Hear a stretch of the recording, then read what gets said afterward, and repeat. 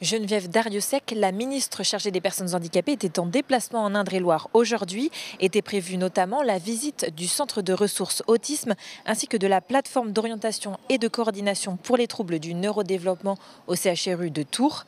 Il s'agit d'un des cinq établissements spécialisés dans le domaine à être classé centre d'excellence en France. Il regroupe des activités de recherche, de diagnostic, d'enseignement, de formation et de soins. Des familles viennent parfois de l'étranger pour y solliciter un diagnostic on a une expertise, si vous voulez, partagée aussi par euh, bien sûr d'autres centres, mais quand même qui est très approfondie dans tout ce qu'on appelle l'analyse fonctionnelle. Donc euh, vraiment les évaluations très fines sur le développement cognitif, sur le développement langagier, sensorimoteur de l'enfant. Au-delà de la question de y a-t-il un autisme ou pas, on peut vraiment préciser un profil très individuel de l'enfant dans ces domaines. Et du coup, ça, ça permet de définir des programmes très individualisés aussi dans tout ce qui est intervention et rééducation. Historiquement, ce centre Tourangeau a été le premier site de ce type développé en France il y a 50 ans.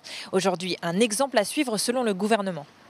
Euh, nous sommes en train de terminer euh, l'écriture de la nouvelle stratégie autisme qui va être présentée euh, dans quelques semaines par le président de la République. Et quand on voit ici ce centre très complet euh, entre la recherche, l'accueil des familles, les diagnostics, la prise en charge, euh, l'interrelation avec l'école, avec euh, le monde extérieur. On a vraiment un centre complet et je crois que c'est effectivement un, très très bon modèle de réussite.